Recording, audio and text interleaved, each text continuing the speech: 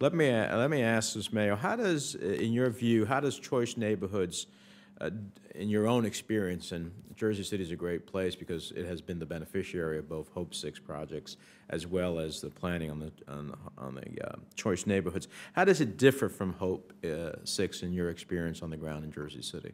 Uh, We are in the middle of, a- of the planning grant, and, and as- as I indicated, uh, for a choice uh, implementation grant.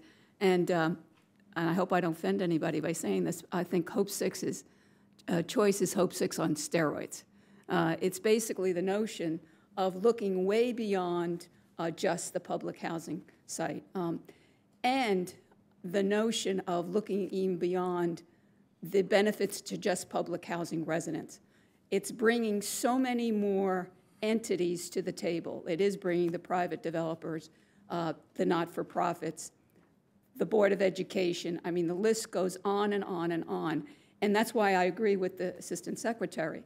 The planning process, doing all of this up front, and I think that's where Mr. Perry was going, all the work that has to be done up front to coordinate all these entities to come up with a plan that we all agree with. I, I will tell you a little story that as part of this planning process, we have to have community meetings, not just with public housing residents, but all the stakeholders in the neighborhood. Um, we had a meeting uh, a week and a half ago. They applauded us. I have never been applauded. That was a first. Uh, Typically, when you do a Hope Six, because of the relocation and the negativity associated with that, um, it, it brings out things that, you know, in terms of difficulties, uh, you know, with families relocating, the, the issues of mental health, can I, that is a grave issue, couldn't agree with Susan Moore on that.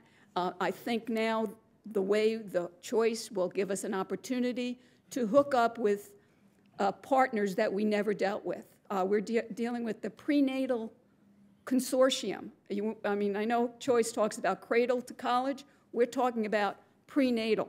We're talking about even before the child is born and what are the implications for the mother's health, so that the, the implications then for the child's health. The Board of Education, the charter school, we have the charter school and the, and a, and a pre-K now working together in a space, using combined spaces. So making those connections, making the connections that were already there, but bringing us to the table as a convener.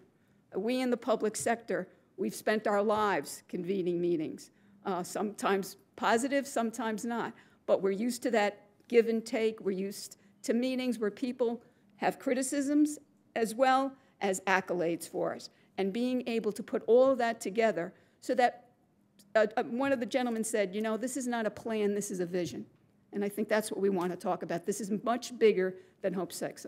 Hope I've answered that question. Actually, you answered my follow-up as well, so uh, I'm from Jersey. just invite me to your next Choice Neighborhood Planning session so that I, I can share your process.